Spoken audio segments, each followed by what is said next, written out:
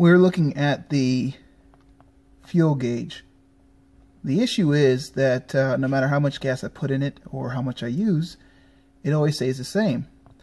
So what we're going to do today is try to troubleshoot this issue from the sender unit and see if it's a gauge issue or not. We're going to also include a multimeter and put it on the ohms of resistance to see if we can figure out what is going on, if it's the actual gauge or the sender unit that may need to be cleaned. Let's check it out. So I first went ahead and removed the carpet, which is right down here, out of the vehicle, uh, which would expose then this right here, which is the fuel sending unit.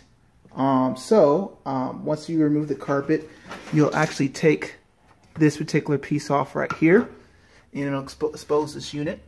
Uh, and this is the wiring that goes to the instrument cluster up there to tell it how much fuel it has. So you're going to remove this. Okay.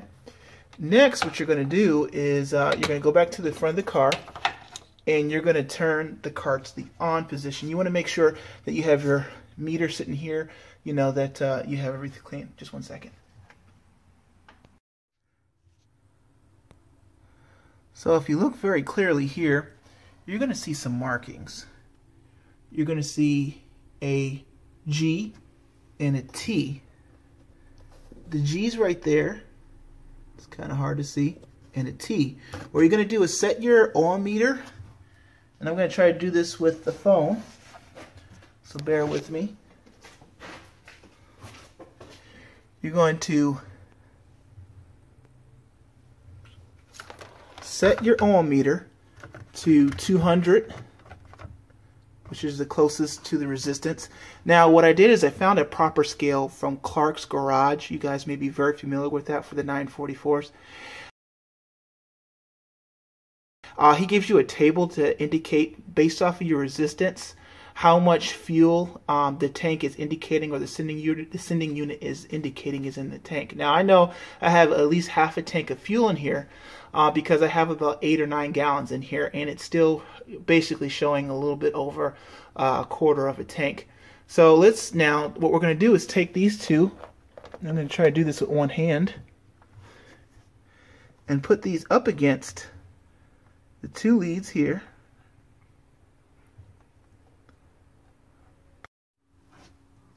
So here, we can see, as long as I keep it up here, I'm running a 33 with these two connected. 33. That indicates exactly just about what we should have. I think it's 41 or so for half a tank. Um, and the resistance goes up with less gas. So this actually is telling me that based off of here, the reading that the sending unit is getting to the gauge is dead on accurate. So those two things are accurate. So there's nothing I need to troubleshoot up there with my gauge, my cluster, anything like that. So in the process of fixing, trying to fix my odometer, I did the fun thing and I broke the needle. See there? That needle sits right in there and actually has a plastic housing that this first screws into. This screws down in here. And I broke trying to take the needle off. See, that goes through there, sits in there. And then this needle here sits on top of that. And when this moves, this causes the needle to work. And as you can see there, I broke the two different ends. Let's focus. Oops, come here.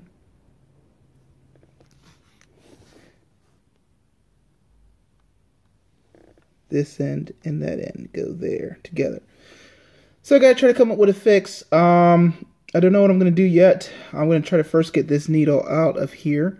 Then once I do that, I can try to see if I can get the other piece back on um, or come up with a fix. Um, I took this apart because my I went to check my ground here. Um, oh man, this thing is having problems focusing on my gas tank and uh, get that did that and had some ADD and went to try to look at the odometer since I was already in here, but broke the broke the speedometer at the process. So also, yeah, the odometer's broke because we have a broken gear. So we need to reorder another gear or oh, see that crumbled to pieces. Wonderful, wonderful stuff, Porsche. I mean, look at that. That's the gear that uh, works with the speedometer. So we're going to, of course, uh, go ahead and see if we need to order a new one um, that's going to be at cost. I'm trying to do this as cheap as possible. We'll see. So here I'm showing you basically after I got the needle of the part that's broken out in the socket or the piece that goes into uh, the actual indicator. See, those two pieces I had to pull apart that wouldn't come apart originally. And uh, here I'm showing you where that connects to um, or the other end that broke off. Um, and uh, yes, it's a mess. And so um, as we see here, there's uh, super glue. What are we going to do with super glue? Well, we're going to go ahead and try to super glue this back on. And as you see, this was my first attempt to super glue the needle back together to try to get it to, uh, to work. Yeah. And so um, here we have that retainer, that, that guide uh, thing put back into that plastic piece that keeps it from wobbling around too much. I didn't tighten it down too far um, because I didn't want to do that. And there's some fingernail polish because I wanted to repaint that particular indicator because it was quite faded. And so here's me screwing this everything back in together. That's four of those uh, flathead screws that you want to put and make sure that they're tight back in after you're uh, putting the unit back together. And so I'm trying to give you some live action video of me doing a repair. And so here's me after I got everything and the black face back on, then her needle back back together there to some degree, testing it to make sure it works. Um, and it looks like at least at the indicator, or it works just like everything else does. So it's good to go and give it a test. Let's see what happens.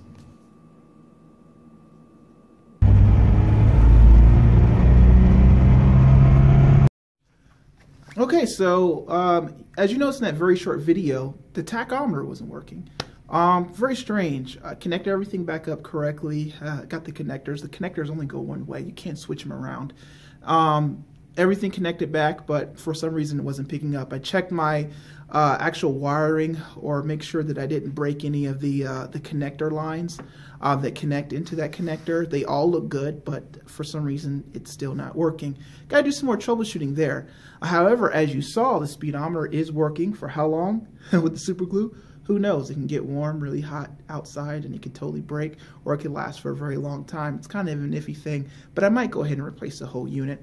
Um, the actual fuel indicator actually started working some. So it still fluctuates, which tells me there's still a ground issue where it actually shows that I'm over half a tank now, and it, that's the correct reading. So at least that's good because then I kind of know how much gas I have in my car. I don't feel like I'm going to run out of gas. Um, and also with the odometer not working, it was kind of really just iffy thing when that doesn't work. The two of those things together, it's believe me, it's not very good uh, when you don't know for sure um, when you're going to run out of gas. But we got something there, so we know that that's working pretty good. Um, but yeah, so the next step is to do some more troubleshooting on the tachometer. Read, read, read. Go back to Clark's Garage. Uh, look at Pelican Parts uh, forums, you know, and that's where I get my information and get an idea of what's going on. Something they say something about the contacts get a little bit uh, they they rub out too much and then it causes some issues. So I'm going to kind of go back there and do some more troubleshooting. Um, but that's fine. Um, so I really want to record this video for you guys because um, I want to use the multimeter. Um, that's something that I want to incorporate in some of my videos, uh, which I haven't done previously and is actually a part of my learning process. Again, I put the, that on 200 ohms of resistance. Um, those readings came out exactly like Clark's Garage said it would. Um, I tell you guys, that guy and that website is an awesome resource. Definitely use it if you can. Um, and so I want to show you that process, looking at the, the fuel sending unit, how to take that off, how to check it. Um, I couldn't get my fuel sending unit cap off. I have to actually go and they say to get a um, oil filter remover, uh, one of those really long, like white claws and use that instead, which I did not have on me. I need to actually purchase. Um, um, but I didn't actually have to do that because I found that there's an issue probably uh, directly from the gauge cluster that's causing that to happen. It's not so much in the tank. So uh, again, this is just another video for you guys to watch. Uh, just an update on the project, what's going on, how I'm sitting up late at night to 2 o'clock in the morning, uh, working all some of these things and, and, getting up at 6 o'clock to go to work. I know I'm crazy. I'm going to die soon because I don't get any sleep, but I get a lot accomplished. So, anyway, uh, if you like what you see, uh, just hit the like button, subscribe, let me know what you think. And if you're looking or doing some other troubleshooting, you want some videos, I'll see if that's on my list of things to do, and I'll get back with you. All right, guys, take care. Bye.